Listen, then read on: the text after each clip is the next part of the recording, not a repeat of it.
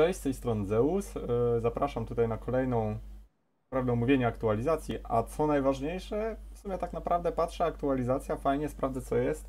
I tutaj zaskoczenie, bo dodana nowa broń. Tak, to jest nowa broń. Wchodzę do CS-a i patrzę co się dzieje. My God! Okay, it's happening. Everybody stay calm. What's the procedure, everyone? What's the procedure? Stay calm. Wait, wait, wait, wait. Everybody calm down. No, no. Pierwsze co, wyświetla mi się taki komunikat. Jestem w szoku, autentycznie.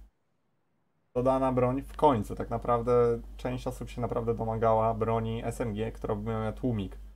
W tym momencie Valve to wysłuchuje, wysłuchuje tak naprawdę graczy yy, i zostaje ona dodana, tak? Mamy SMG z tłumikiem. Na pewno spore zaskoczenie i zobaczmy jak się z niego strzela i jak się prezentuje ona w grze.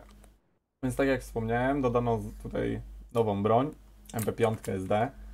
E, ona jest zamiast MP7. Koszt obu, obu tak naprawdę broni jest identyczny, tak? E, jest to 1500 dolków.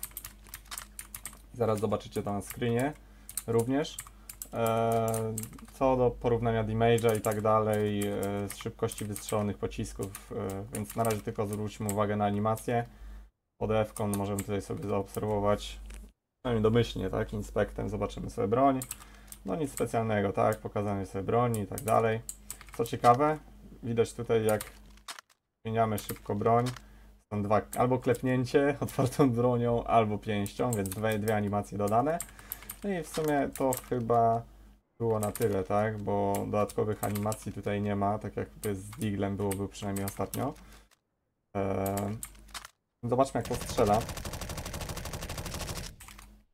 No, ogółem strzela, no, cicho, tak?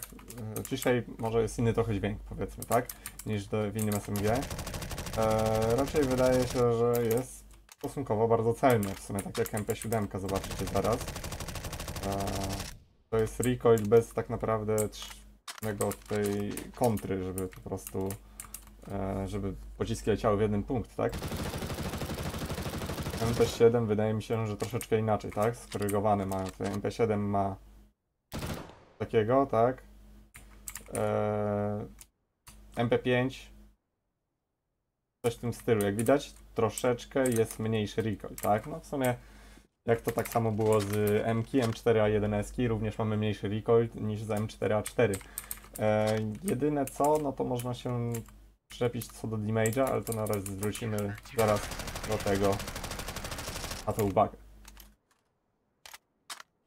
Tak jak można zauważyć, cena obu yy, tak naprawdę broni SMG jest taka sama, 1500 dolków. Zarówno w CT, jak i w Tero jest możliwość do kupienia. Oczywiście możemy sobie je zeswitchować w inwentory yy, w swoim wyposażeniu.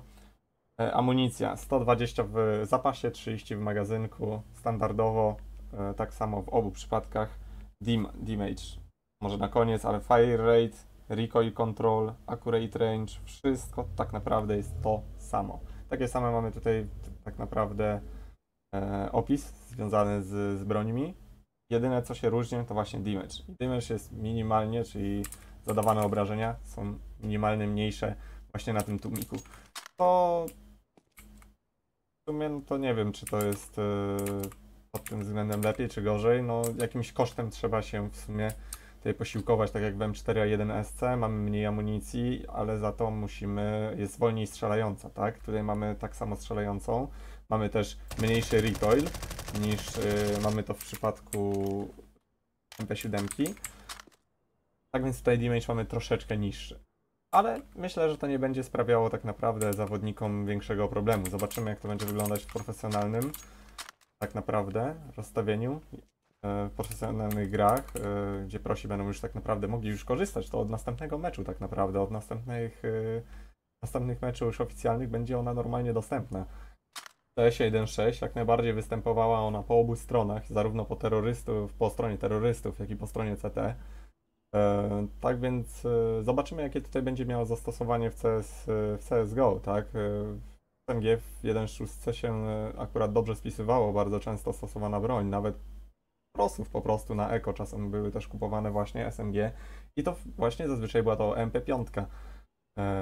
Tak więc zobaczymy jak to będzie wyglądać aktualnie w aktualnej wersji Counter-Strike'a i Trzeba by było zobaczyć po prostu, jak to będzie, jak to wyjdzie w przyszłości.